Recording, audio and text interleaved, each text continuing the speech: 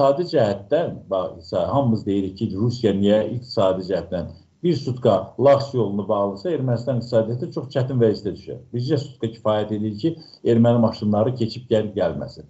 Amma hələ ki Erməni, Rusiya özü də sanksiyalara məruz qaldığı üçün Ermənistan üzərindən xeyli qadağan sanksiya məruz qalmış məhsulların alması ilə məşğuldur. Yəni ki, bunu tətbiq etmir. O burada özünün də xeyri var. Düz bundan imtina edə bilər. Ona görə də siz yəqin ki, e, indi biz daha e, sonunda məlumat alacağıq. Bu 27 Avropa İttifaqının 27 ölkəsinin xarici işlər nazirlərinin görüşündə bir məsələdə Ermənistana maliyyə yardımının ayrılmasıdır.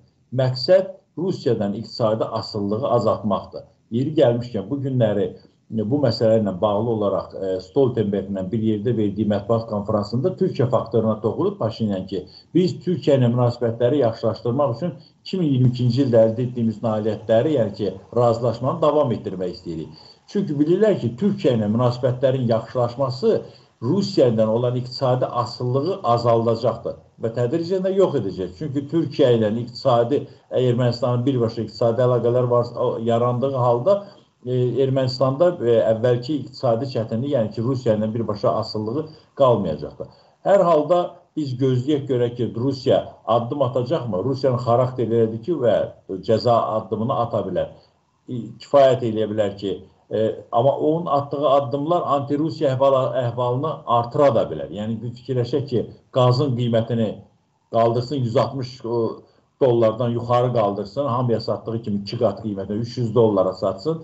E, təbii ki, Ermənistanda narazılıq yaradacaq, anti-Rusiya əhval-ruhiyyəsini yaradacaq, başqa e, belə də ki, mənbələr axtaracaqlar. Hələ düzdür, İran burada Rusiyanın mövqeyində dayanacaqdır, Rusiyanın əleyhinə getməyəcəkdir bölgədə. Amma başqa işlər də ola bilər. Ona görə də mən hesab edirəm ki, Rusiya hələ Ermənistanın konkret addımlar atmağını gözləyəcəkdir ondan sonra. Ritorik ritorikadan kəskin istifadə edə bilərlər. Yadınızdadırmı? Gizli şəkildə də istifadə edirlər.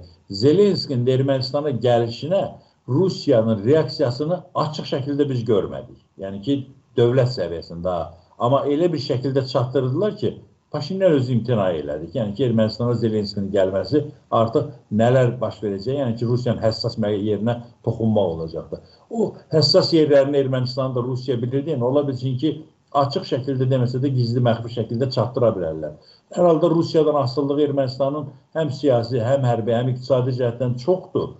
Rusiya isə biz fikirləşək ki, seçkidən sonra bu addımları atacaqmı? Mənə gəlir ki, e, Ermənistan konkret addımlar atmayınca Rusiyada o cəza addımlarını atası deyil hələ.